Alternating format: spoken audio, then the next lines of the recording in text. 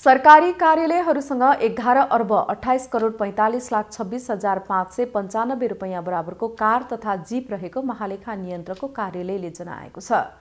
तीन हजार सरकारी कार्यालयमा संघीय सरकारको मात्र सो मूल्य बराबरको गाडी रहेको तथ्याङ्कमा उल्लेख छ। यस्तै दुई अर्ब सात करोड दुई लाख सत्तरी हजार रुपियाँ बराबरको मोटरसाइकल सरकारी कार्यालयमा छन्। महालेखा नियन्त्रक कार्यालयले राख्न सुरु गरेको सार्वजनिक सम्पत्तिको अभिलेखमा सो मात्रामा गाडी रहेको देखिएको छ।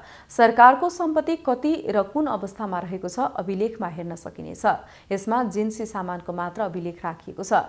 यद्यपि महालेखाले अहिले सरकारी सम्पत्तिको अभिलेख राख्ने क्रममा हाल सरकारी कार्यालयको मात्र अभिलेख राखिरहेको छ। हालसम्म संघीय सरकारको तीन हजार कार्यालय प्रदेश सरकारको पाँच सय र स्थानीय सरकारको चार सय कार्यालयको अभिलेख राखिएको महालेखा नियन्त्रकको कार्यालयले जनाएको छ। ती कार्यालयको सम्पत्ति संघीय सरकारको सतासी अर्ब रुपियाँ बराबर प्रदेश सरकारको दस अर्ब र स्थानीय सरकारको आठ अर्ब बराबर रहेको अभिलेखमा देखिएको छ। सार्वजनिक सम्पत्ति सूचना प्रणाली अन्तर्गत सरकारले सार्वजनिक सम्पत्तिको अभिलेख राख्न थालेको हो। तिनै तहका सरकारले यो प्रणालीलाई प्रयोग गर्नुपर्ने हुन्छ। नेपाल सरकारको कार्तिक बिस गतेको निर्णय अनुसार अभिलेख राख्न सुरु गरिएको हो। महालेखाले अबदेखि हरेक वर्ष सार्वजनिक सम्पत्तिको विवरण सरकार समक्ष पेश गर्नेछ। राजमार्ग सरकारी जमिन लगायतलाई पनि अभिलेखमा समेट्ने गरी प्रणालीको विकास गरिरहेको कार्यालयको भनाइ रहेको छ।